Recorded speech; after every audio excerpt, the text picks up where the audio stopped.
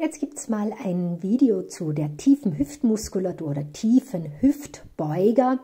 Ähm, bitte nicht irritieren lassen. Das sind Muskeln, die bei der Wirbelsäule teilweise beginnen und ganz in der Tiefe liegen.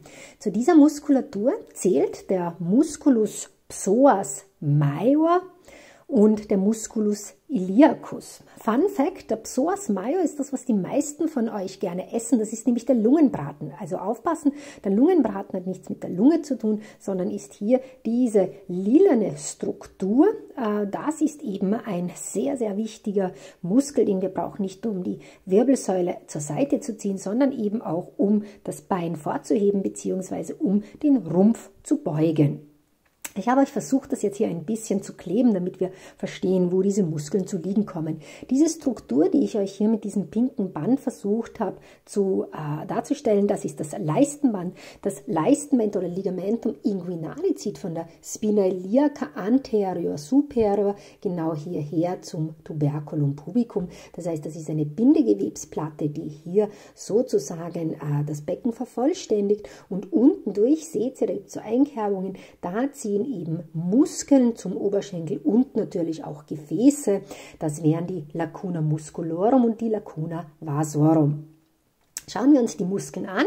Das hier in lila ist, wie gesagt, der Musculus psoas major und das hier hinten in pink, das wäre der Iliacus. Beginnen wir mit dem Iliacus. Der Iliacus ist ein relativ einfach zu lernender Muskel. Der liegt hier in der Fossa iliaca. Fossa iliaca ist die Darmbeinschaufel. Das können wir tasten, wenn wir von oben mit der Hand bei uns runterfahren, hier den Beckenkamm tasten und ein wenig mit dem Finger hineinfahren. Ja, das wäre hier sozusagen da drinnen beginnt beginnt der Musculus iliacus und der Iliopsoas, also der Psoas Meyer und der Iliacus haben eine gemeinsame Ansatzstelle und das ist hier innen am Trochanter minor des Femurs. Das hier außen ist der Trochanter major, der große Rollhügel.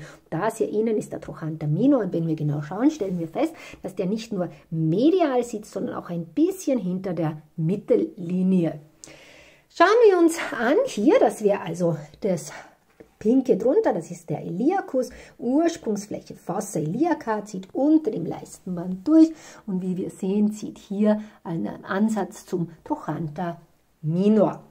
Und was ich euch hier geklebt habe, das wäre der Psoas major. Wir schauen es uns auf dieser Seite an. Der Psoas major beginnt ab dem 12. Brustwirbelkörper hier seitlich an der Wirbelsäule, hat aber auch Ursprungsstellen hier an den Bandscheiben und er hat noch einen tiefen Ursprung, nämlich hier an den Processi costalis, das sind diese Strukturen hier, der Lendenwirbelkörper, das heißt vom ersten bis fünften Lendenwirbel entspringt er zusätzlich von hier hinten und zieht dann als gemeinsamer Muskel, ja, seht ihr, da hat hier viele Ursprünge, da einen, da einen, an den Bandscheiben, hier dazwischen und natürlich auch das tiefe Blatt.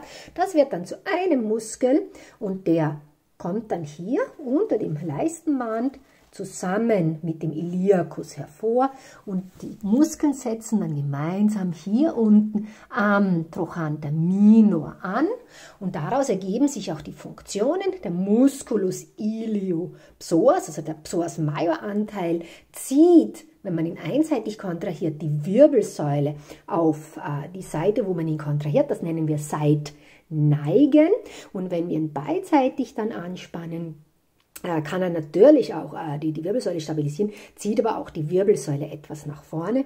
Und die wichtigste Funktion vom Iliopsoas ist hier das Vorheben des Beines, beziehungsweise natürlich auch, wenn ich das Bein fixiere, das Beugen des Rumpfes. Und da haben wir auch schon ähm, die Problematik, die der Iliopsoas machen kann. Es gibt natürlich ganz viele Menschen, die äh, anstatt die Bauchwandmuskulatur zu trainieren, wenn sie den Rumpf beugen, eigentlich nur den Iliopsoas betätigen und eben nicht die Sit-Ups mit der Bauchwandmuskulatur ziehen, sondern hier mit dem Iliopsoas-Muskel. Und das macht natürlich Rückenschmerzen, weil der eben hier äh, die Lendenwirbelsäule noch mehr in ein Hohlkreuz hineinzieht, was natürlich zu Schmerzen führen kann.